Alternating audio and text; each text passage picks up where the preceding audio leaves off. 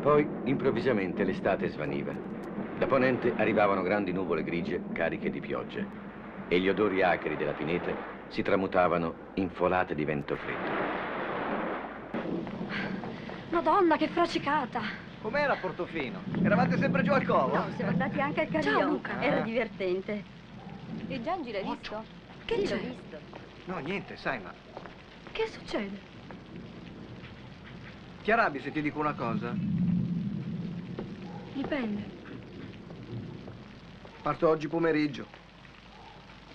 Ma mi avevi detto che partivi domenica. Eh, lo so, ma...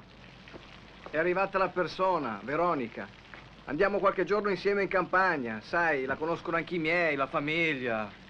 Veronica è quella ragazza lì, quella carina. Sì. Oh, ma è truccata, eh? Non è niente di... E a parte essere bionda, chi è? Ti ricordi di quella mia amica di Milano di cui ti avevo parlato? È la tua ragazza. Sì, ma appena arriviamo a Milano io le parlo e poi... Cosa fai? Mi scrivi? Certo che ti scrivo. Io no. E perché non vuoi scrivermi? Boh, così. Luca, andiamo, facciamo tardi. Sì, certo. Tu devi essere Veronica. Ciao, io sono Marina. Ciao Marina. Ma cosa fai? Piangi?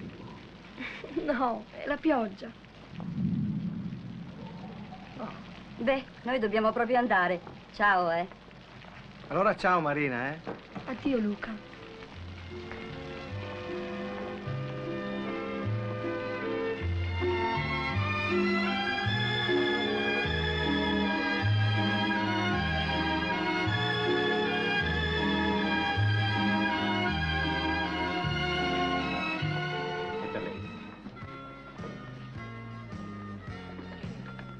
Questo biglietto vale per tutte le lettere che non ti ho mai scritto. A proposito, sei sempre la più bella, Luca. partire su un altro andar lontano un lampo negli occhi ciao d'accordo fa male ciao ma tu dentro di me non muori più azzurra celeste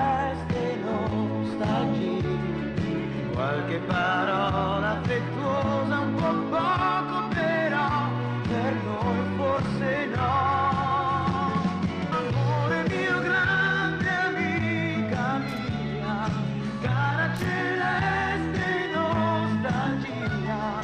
Un'ora, un giorno, una vita, che cosa vuoi che sia?